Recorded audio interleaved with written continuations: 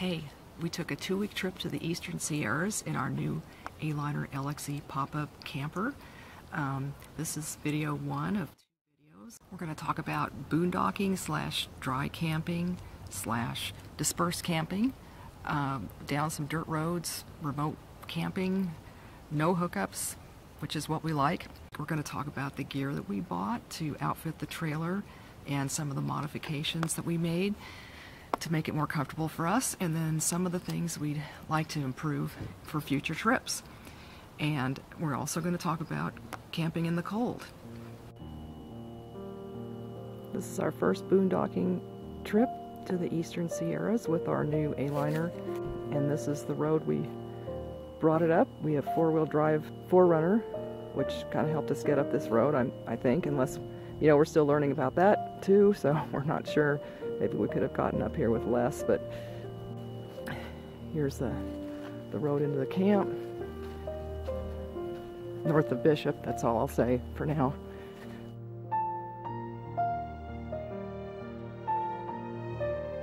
G solar panel um, with a long cable.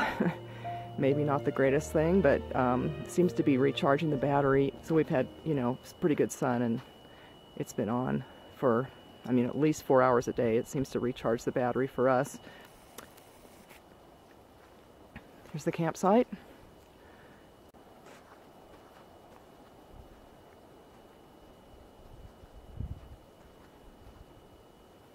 Nobody around. We haven't heard any cars go by or uh, no one's come up this road in the two nights we've slept here the LXE. It's got the little bathroom on the right in a cabinet, and then it, on the left we made a king-size bed, and I'll show you how we did that later. It's very helpful to have this table out here. Um, there's really very little um, counter space, storage space inside the A-liner, so whenever we have stuff that we're not worried about bears getting into, we just um, put it out here even temporarily. It just helps a lot because we have our computers and you know, toilet kits, suitcases, everything um, going back and forth. So that's been really, really helpful. Got that on Amazon. And then this little step stool has been fantastic too. That doesn't seem to ever wobble. It folds up. In terms of leveling, we just have those, you know, those Lynx leveler blocks. And on the other side of the trailer, we just dug a little ditch to lower the other wheel. The front, one time we needed some blocks, but now we're learning to try to head the trailer slightly uphill. Um, now these things from Lowe's, these food grade uh, containers have been fantastic. They have airtight um, lids on them that snap down and uh, I had one crack but basically they, these haven't cracked yet and we cannot smell the coffee when we're in the car. That's something that kind of bothers us so um, it's really nice to not be smelling coffee all the way down the highway. Uh, we brought a bunch of extra water because number one here at the end of September it's been one night it was down into 27 degrees. And we got worried about we were worried about using our um, the tanks in the trailer and we didn't want to load them up with antifreeze right now. So we just drained everything. We have antifreeze in the um, cassette toilet but other than that we're not using the water system um, and they got these at Pep Boys they're um, I think they're BPA free and they're five gallons a piece. And then we just uh, refill a little five gallon water carrier inside the trailer. Another essential for us is this folding chair. You know, it's just one of those $20 chairs. Um, I think we got it at Home Depot. It's kind of heavy, but basically it's pretty sturdy and you can set it down almost anywhere and sit and have your morning coffee or work on your phone. Um, just fantastic. We love that. In fact, next time we'll probably bring two of them. This is our gray water line draining here at the campground. I just want to mention that we are not putting any food down the sink. It's just biodegradable soap and water, hand washing, and um, you know, maybe a little coffee, but nothing, no food is going down the drain. And um, even though it got down to 27 and there was an icicle hanging off the drain, it's still you know, was flowing fine. We didn't have any big issues with using the drain so far. Um, but right now, during the day, it's it's a really nice temperature. I'd say it's you know maybe in the 60s or 50s. We're at 7,400 feet here elevation. I just want to comment on this ZAMP business here. You know, I don't quite understand. You know, we're still learning about solar, but if you want to use Renogy with a ZAMP connector, you have to do a lot of work to try to find the right the way to reverse the positive and negative wires to get it all working because ZAMP puts theirs in uh, the opposite of Renogy.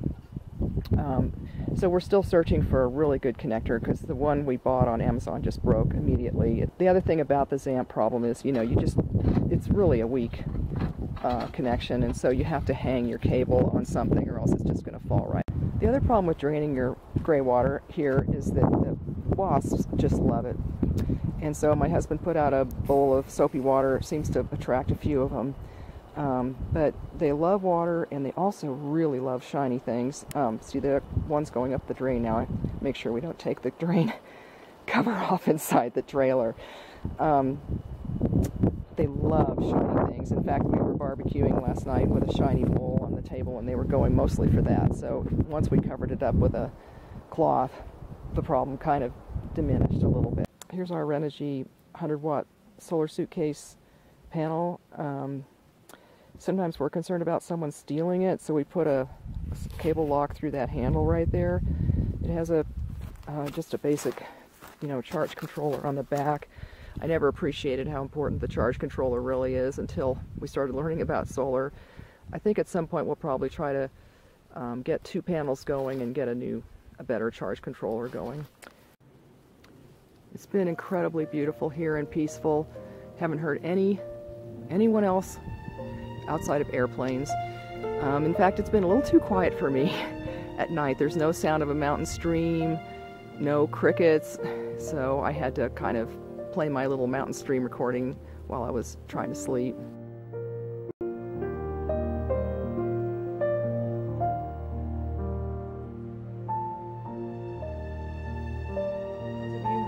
Don't want to talk about bathroom issues, you can skip this part of the video, but I just wanted to make a plug for this uh, portable toilet we found on Amazon. And it comes with a view. And we just use the kitchen bags and the nice this is our first time trying this ever. And the reason we are doing it is that even though the trailer has a Thetford cassette toilet uh, we don't want to have to clean it out all that often and also yeah just especially for um, going number two we wanted to just be able to throw it away um, in the trash and not have it sloshing around in the trailer when we're on dirt roads. So we bought this on Amazon um, and it's been fantastic. Um, it basically doesn't smell that much. We just put a little powdery dirt on top after we're done using it and we can't believe how little it really does smell. We bought these recliners at Camping World. Um, so far, uh, you know, they are very comfortable. Um, we've really enjoyed using them one time for stargazing. It was fantastic. The rest of the time, I'm not so sure if we really need these. They are super heavy and big um, for our setup. Um, we'll, we'll see. We'll keep trying to find a place where we can really use them. I mean, some of the time, sitting outside, frankly, there are a lot of wasps and then the wind comes up and it gets cold or something. So I'm not sure. We're still, these are still, um, we're not decided about them. Uh, the A-liner came with these two uh, 20 pound propane tanks and just wanted to mention that after a week being out, using them, not refilling them, we're still, I think we were down to the quarter, a quarter of a tank on the first tank which is amazing. We've had the refrigerator going the whole time. It's a three-way Dometic refrigerator that came with a trailer. Um, we did turn on the heater a couple times just to see what it was like and decided that it was just, you know, too much electricity use and we had plenty of, you know, our, our approach was to have lots of huge sleeping bags and um, we got our dog a little electric heater pad. So um, we haven't been using it for heat, but we've been using it for cooking and the uh, refrigerator. No water heater because the water heater's been drained. We're breaking camp to see if we can find some more wonderful spots.